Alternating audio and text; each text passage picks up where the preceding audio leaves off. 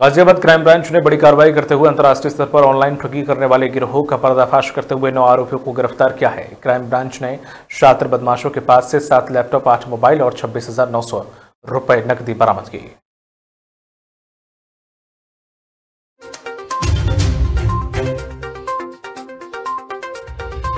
आज crime branch team के द्वारा नौ साइबर अपराधियों को पकड़ा गया है।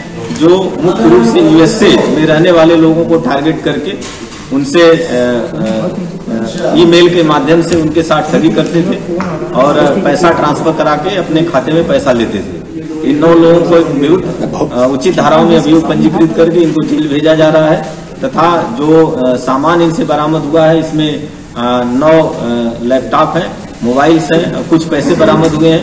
इसके अलावा भी जो इनके पीछे माइंड है उनके लिए भी हम लोग अभी काम कर रहे हैं, उनको भी यथाशीघ्र पकड़ करके जेल भेजा।